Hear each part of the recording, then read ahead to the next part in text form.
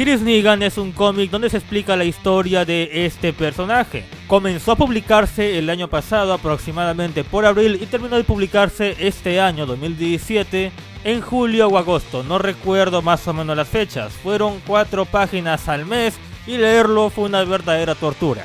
Por suerte, para todos aquellos que no quieran leer tantas páginas, vengo aquí a hacerles el resumen de este cómic. Pero antes de comenzar, quisiera dejar en claro que esta es la historia de el Negan del cómic. No tiene que ver con el de la serie de televisión. Sin embargo, es muy probable que sus historias sean las mismas porque no suelen cambiar mucho estas cosas.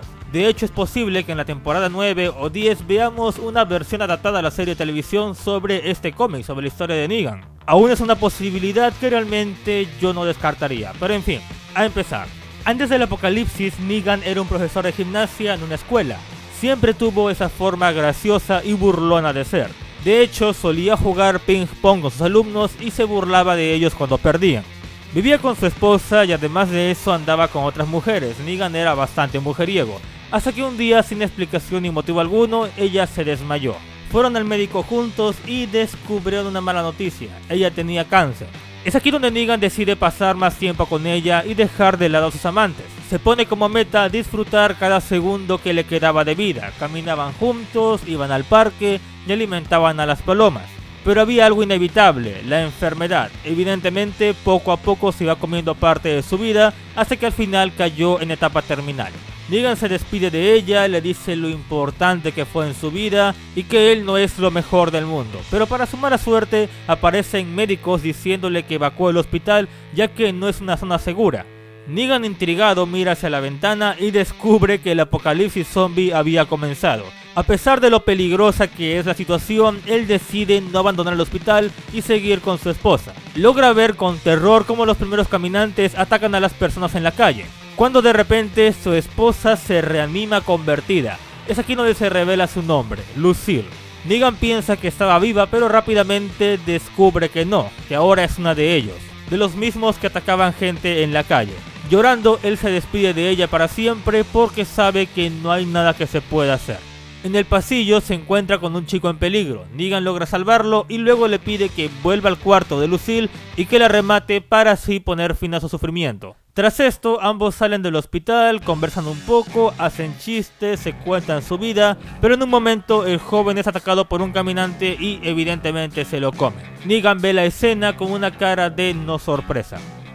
Pasan las semanas, el protagonista trata de sobrevivir construyendo un refugio seguro y viajando para encontrar suministros, hasta que se encuentra con un grupo de sobrevivientes y uno de ellos tiene un bate. Conversan, comen conejos juntos, hacen chistes de penes, sí de hecho es algo que se ve en el cómic, no me lo estoy inventando.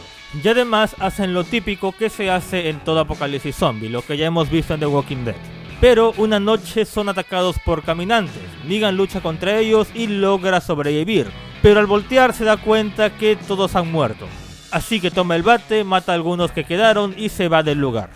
Se encuentra con una pareja de adultos y estos mueren. Se encuentra con una mujer y también muere. Se encuentra con unos hermanos y vuelven a morir. Sí, en este punto no sé si Negan es muy bueno para sobrevivir o tiene una maldición que hace que toda persona con la que se topa termine siendo comida de caminante. Pero la cosa cambia, Negan estaba comiendo y se encuentra con un conocido, Dwight. Este lo lleva a su campamento donde se presenta con toda la gente, pero Negan dice que mejor no va a memorizar el nombre de ellos hasta que sobrevivan unos cuantos días. Esto básicamente lo hace porque está cansado de ver a tanta gente morir. Y recuerdan lo que les dije que Sherry nunca amó a Dwight, pues aquí se ve lo que próximamente sería la ruptura de la relación de esos personajes.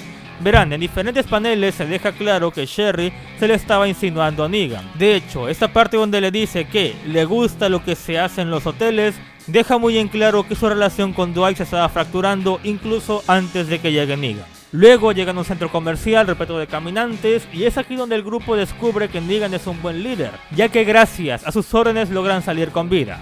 Desde ese momento, Dwight deja de ser el que tomaba las decisiones para pasar a ser Negan. Pobre, le roban la mujer y ahora le roban el grupo.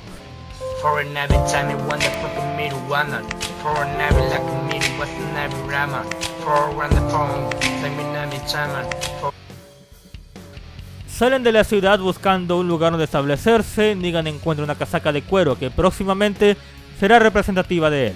También le explica a Dwight que era antes de todo esto, era un profesor de gimnasia y relaciona el evitar que los niños suban de peso con mantener con vida a este nuevo grupo.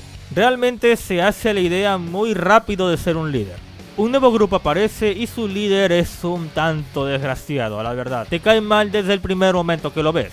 En fin, que buscan juntarse con Negan para sobrevivir juntos, ya que dos grupos pequeños hacen un grupo grande y ellos saben que en los números está la seguridad. Negan al final los acepta porque entiende lo que les mencioné.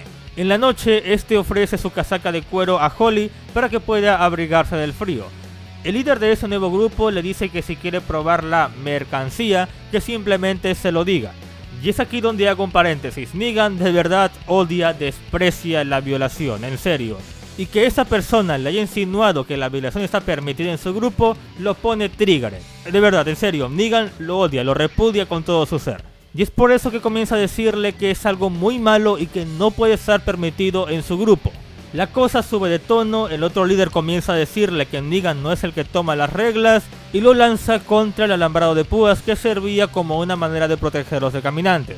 Negan es herido por las púas pero logra tomar su bate rápidamente y comienza a golpear a su agresor, de la misma manera que luego haría con Glenn le destruye el cráneo. Negan se da cuenta que todo el mundo está impactado por lo que acaba de pasar, así que se dirige al alambrado, saca un poco de él y comienza a envolver su bate, dando lugar a la creación de Lucille. Comienza un discurso sobre cómo ella, Lucille, al morir lo hizo más fuerte, y además lo triste que era ver morir a gente porque no tenían la habilidad de sobrevivir. Aquí aclaro, Negan no dice que le dé pena verlo, sino que el hecho es triste en sí, pero que él no siente nada. Pero ahora la cosa sería diferente. Él protegería a todos de la misma manera en la que Lucille lo protegió a él. Y las personas protegidas por Negan cuidarían de otras y estas de otras y así sucesivamente para que todo el mundo esté protegido.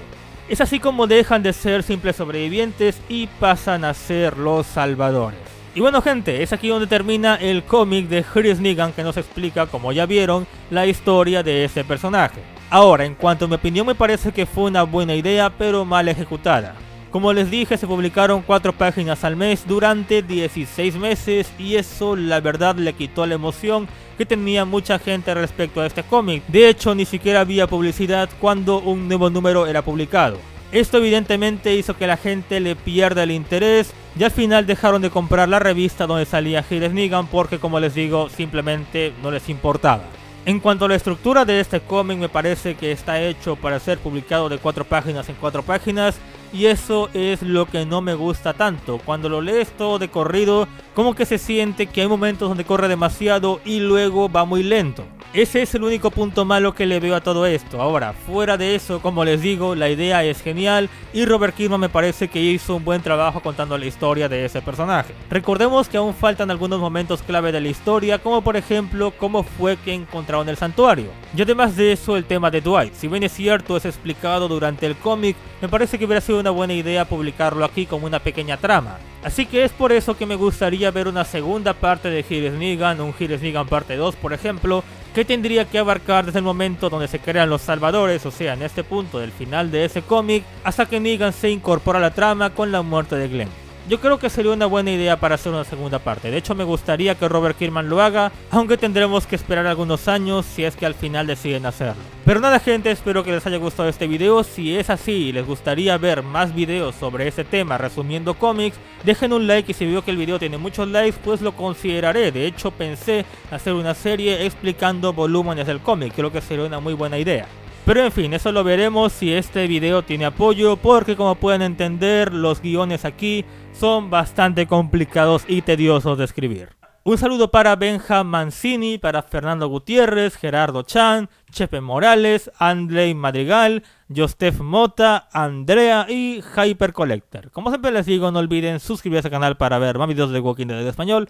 Aquí Chico Black, que tengan un buen día. Adiós.